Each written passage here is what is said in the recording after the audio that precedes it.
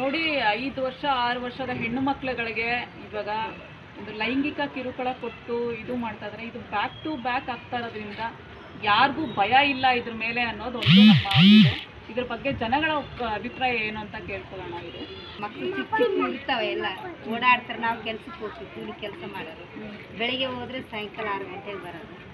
ಮತ್ತು ಮಕ್ಕಳು ಬಿಟ್ಟು ಹೋದ್ರೇ ನಮಗೆ ಕಷ್ಟ ಬಿದ್ದರೆ ದುಡ್ಡು ಬರುತ್ತೆ. ಹೊಟ್ಟೆಗೆ ಏನು ತಂದು ಮಕ್ಕಳು ತಿನ್ಸ್ಬೇಕು ಅವ್ರದನ್ನ ಕೆತ್ತಿ ಬಿದ್ದು ಈ ಥರ ಮಾಡಬೇಡ್ದು ಒಳ್ಳೇದಲ್ಲಿ. ಈ ಥರ ಮಾಡಿದ್ರೆ ರೇಪ್ ಮಾಡಿ ಇದು ಮಾಡ್ತಾರಲ್ಲ ಅಂತಂದ್ರೆ ಶೂಟೌಟ್ ಮಾಡಾಕ್ತಿದ್ರು ನಮ್ಮಲ್ಲಿ ಒಂದು ಹತ್ತು ಜನನ ಶೂಟೌಟ್ ಮಾಡಾಕಿದ್ರೆ ಮುಂದೆ ಮತ್ತೆ ಮಾಡೋಕೆ ಅವರಿಗೆ ಬೇರೆಯವರಿಗೆ ಇದು ಬರಲ್ಲ ಏನಕ್ಕೆ ಧೈರ್ಯ ಬರಲ್ಲ. ತುಂಬ ಕಠಿಣವಾದ ಶಿಕ್ಷೆ ಆಗಬೇಕು. ಕೆಲವ್ರಿಗೆ ಆ ಥರ ಮಾಡಿದ್ರೆ ಅದನ್ನ ನೋಡ್ಕೊಂಡು ಇನ್ನೂ ಕಮ್ಮಿ ಮಾಡ್ತಾರೆ.